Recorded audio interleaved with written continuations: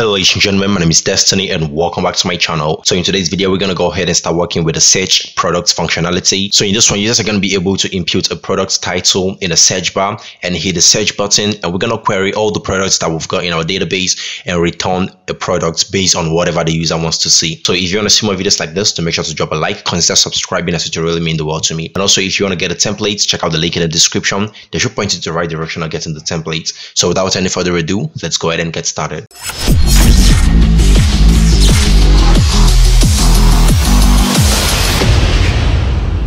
Now, the first thing that I'm going to do is open up my code editor and we're going to be writing a simple view that's going to help us do that. And uh, I'm just going to minimize this and make sure your server is still running. I'm going to scroll all the way to the bottom and as you can see, my server is still running over there. Okay, that's it. So in order to go ahead and get started, I'm going to come over to the views.py and remember from the last one we worked with Ajax add reviews and that was pretty awesome. So in this one, I'm going to define a search view. You could call this search view. It's totally up to you whatever you want to call it. So i'm just gonna get rid of all this. I'm just gonna say view okay? Now in here we're gonna pass in a request okay? So as you all know that's a parameter. Now the next thing we want to get is query. So i'm gonna say query should be equal to then for this one i'm gonna say request dot get then I'm simply going to get what's Q. That's what we're going to call it. So hopefully you guys know that if you don't want to do request.get like this, you go to do something like request.get.get. .get, then you're going to pass in the name of whatever input field you want to get. Either way, anyone is going to work, okay? Just like what we've been doing over here from the last video for the add reviews and all that. If you don't want to do this, you can also go dot .get, then change the square brackets to parentheses and everything is going to work, okay? So when you've done this now, we need to go ahead and filter out the products. So I'm going to say products should be equal to products dot objects dot filter. So we want to filter the the the products by title. So i'm going to say title underscore underscore i contains. So now take note there's a lot of things you could you could filter by description you could filter by um you could filter by title you could filter by tag. It's just totally up to you what you want to filter by.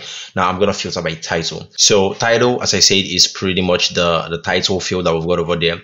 Now our, our i contains is is um, a built-in Django method, I'm to say, that you use whenever you want to get anything that's related in a word that you're trying to search. So let me explain.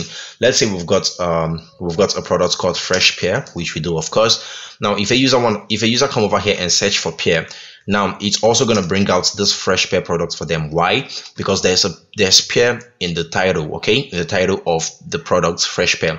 Now, even if a user types something like ash like this, it's going to still bring out the fresh pear because there is ash in fresh over here, okay? So hopefully you understand. Now there is another one that is starts with. So there is starts with. So this one, if you pass in ash, the fresh pear isn't going to come up because it doesn't start with ash except if you pass in fresh that's only when it's going to come out. Even if you pass in pear it's not going to come out okay? So hopefully you understand. Well i want to stick with i contains. That one is way more better right? Because you don't want a user to actually know what a product's title starts with before they can find it. So i'm going to say this should be equal to query. And you could also even go with description. So i could say descript description underscore underscore i contains should be equal to query also. Or, or was that? This should be equal to query. Okay. So now if for any reason there is any problem what we could just do is go ahead and get rid of the of the description and stick with the title only. So i'm going to say filter by minus date. Okay? Sorry order by that's what i was supposed to say. So it's going to go ahead and order the products by the latest one that was added in the in the database so i'm going to say context should be equal to this is going to be a context dictionary and i simply want to pass in products. I'm going to say products and over here i'm simply going to pass in products not the product detail view. And alongside the products i'm also going to pass in query just like this because i want to know what is it that the user is searching for. Now when all this is done i think that's pretty much it. Let's just go ahead and return the template and we are done. So i want to copy one of this or i'm going to borrow it or steal it whatever then i'm going to paste it down here. And instead of the product detail.html i'm going to call this template search.html then we'll pass in context which was what we created over here. Simple as that. So now let's open up the urls core. So um i'm just going to create I'm just gonna pass search in here. Then I'm gonna say path then I'm gonna say search over here and there's gonna be a slash. And that's pretty much what I want. Then I'm gonna pass in the the search view. I think that's what we call it right? This is it over here search view so it should go ahead and import that for us i think. Let's look for where it's imported it. Ajax category um vendor list vendor search yeah it's imported it for us. Okay now finally i'm also going to go ahead and pass in search as the name. So when all this is done that's pretty much what i want to do. I'm just going to copy the search over here and i want to open up base html and i'm going to look for the search i search input thing i'm just to look for search and um let's keep going. Okay this is it over here search. Now what i want to do is make sure that my server is still running and i want to open up the the website over here so i can see where my search thing is. And this is it over here right? So firstly i want to add a button and that button is gonna is gonna be is gonna have a search icon. So i'm gonna say class fas fa dash search. And let's refresh and see what we got over here okay as you can see we got this over here that's pretty cool right now I think that's pretty much what I want to do. I'm just going to put in the type of submit over here for the button. And now for search an item, I'm going to give it a name of Q. So this name of Q is pretty much what we grabbed the, from the server over here, Q. Okay, so now that's pretty much what we want to do apart from the fact that we want to look for the form and want to give this a method of get. So I'm going to say method and I'm going to pass in get. And also for the action, I'm going to pass in the search URL thing that we just created. I'm going to say call slash or pipe or column rather that's a column search. So when all this is done i'm just going to refresh this and as you can see it's it's refreshed. Now i want to search for banana. Now it says actually something is getting back but it says this template doesn't exist search html so um, i'm going to create a template with the name search html i'm just going to come over here and open this up and in the core i'm going to create a new file and this one is going to be search html now when we refresh this should be gone now what I want to copy is the product list. Actually, that's what I'm going to just grab. Um, let's get down here. I'm going to grab this and put it in the search HTML. And when I refresh this now, you're going to see that we should have a banana product. Okay, that's not showing up. I think I think we didn't pass in something correctly in the views, um, products, products, and um, let's see in the in the search HTML. I'm gonna search for for P in products, that's what it's supposed to be. But maybe the problem was from the, the banana keyword. So I, I'm going to search for B-A-N-A.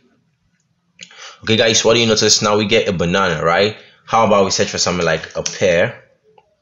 What do you notice? Okay, there there is no pear over there. Let's see. Let's see. What's the problem? Okay, I'm to search for fresh. Let's see. Okay, we didn't get anything like that okay that's actually a problem now let's see what the problem might be fresh what if you search for bananas it didn't get any okay i'm gonna search for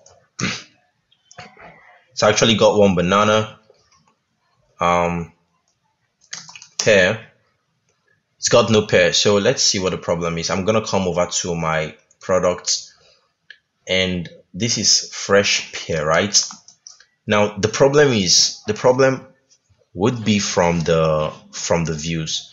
Maybe there is a problem with something. Okay, I'm gonna get rid of this.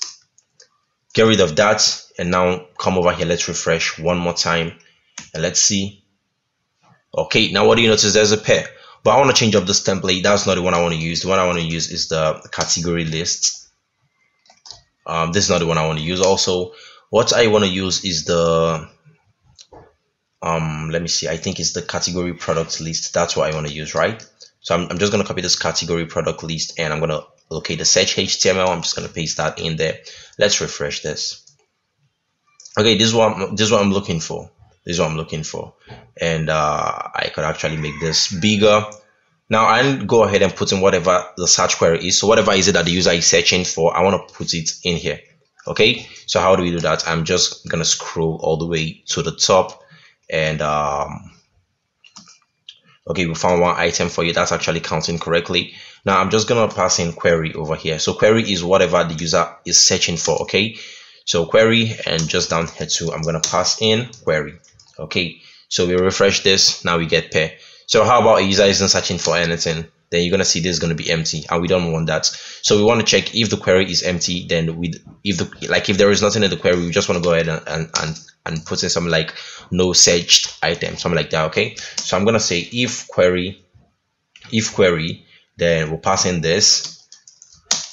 Else then we want to go ahead and pass in something else. I'm just gonna say and if and if and this is what i want to copy i'm, I'm just gonna come over here and paste it but this time around i'm gonna say um, i'm gonna say no search query okay? No searched item or something like that. I'm gonna refresh this. Okay as you can see it says no searched item. So that's pretty cool right? I'm, i also want to change this to um, h h3 rather. That should be better so h3 and also i think that should be it for now. So no searched item that's pretty cool. But now it displays all since there is no search item it's going to go ahead and display all the items that we've got okay? So I, I, guess that's gonna be it for this video. Hopefully you guys enjoyed the video and learned something new. Do make sure to drop a like consider subscribing as it will really mean the world to me. And also if you want to get this cool template that we're using do make sure to check out the link in the description below. It should point you to the right direction to get the template. And until the next video i'd love peace out